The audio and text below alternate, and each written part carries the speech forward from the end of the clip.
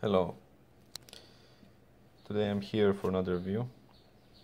Um, this is my video card R9 280 Dual X.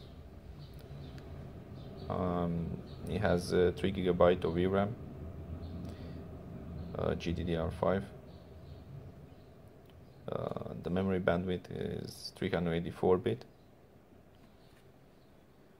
and the specs for the uh, GPU and the memory for the GPU is 940 and for the memory is 1300 um, of course uh, this one was uh, released first. And um, as you can see it's pretty similar to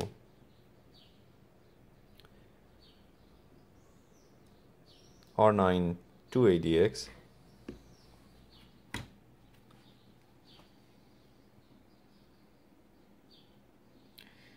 is actually looks the same.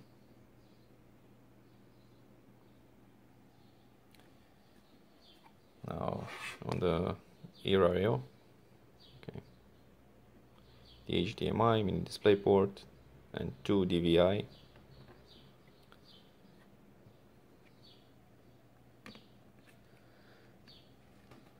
Uh, the performance um, with this video card is actually poor compared to R9 280 280X.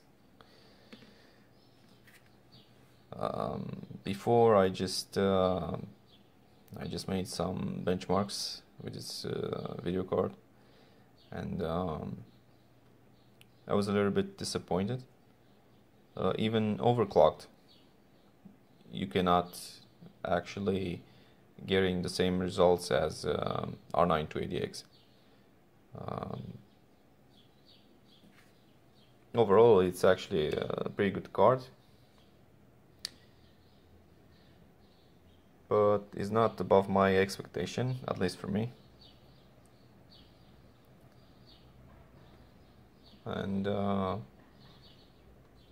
yeah, this is how she this uh, button on uh, UEFI actually has dual BIOS. You can switch between uh, the primary and the second. Actually, the second will be for the um, the second BIOS. Uh, excuse me, will be for the overclocking, and the primary is actually stock frequencies. But anyway. In time um, the fan actually will fail. It actually happens the same to all video cards but in my case this one has uh, some issues. Not big ones but actually is noisy.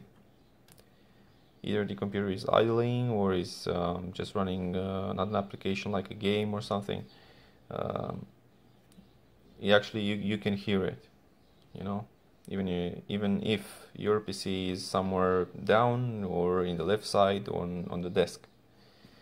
So yeah. If you have any questions, don't forget to ask me anyway. Thank you for watching.